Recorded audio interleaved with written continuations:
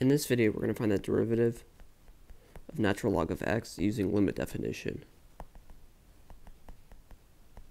of derivative. So we have the derivative of f of x is the limit as h goes to 0 of f of x plus h minus f of x over h. So we're going to plug that in. So we have the derivative of ln x is the limit h goes to 0 of ln of x plus h minus ln x over h. This will be the limit as h goes to 0 of 1 over h. Fact, we're going to factor that out. ln of b minus ln a is ln of b over a. So we have the natural log of x plus h over x.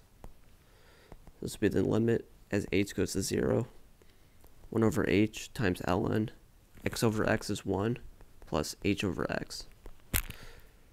We're going to have the derivative of ln x is the limit as h goes to 0. So we can bring the 1 over h to the front because we have the ln of a b to the b times ln a is ln of a to the b. So this would be natural log of 1 plus h over x to the 1 over h. So this will be the limit. So we can exchange the limit in the natural log. So it'll be natural log of the limit as h goes to 0 of 1 plus h over x to the 1 over h. We're going to let t equal the reciprocal of h over x, which is x over h. This will be that h is. So h so let's see. 1 over t is h over x. So h is x over t. This will be the natural log of the limit. As h goes to 0 of 1 plus 1 over t.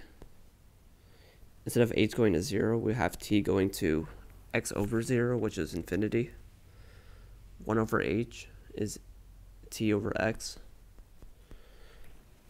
and we can factor that out, so it'll be natural log of the limit as t goes to infinity of 1 plus 1 over t to the t, all raised to the 1 over x. And this is e.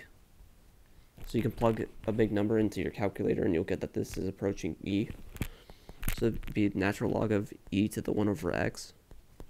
We can bring this to the front, like before, so this would be 1 over x ln e ln e is 1, so this is just 1 over x. So that's the end of the video.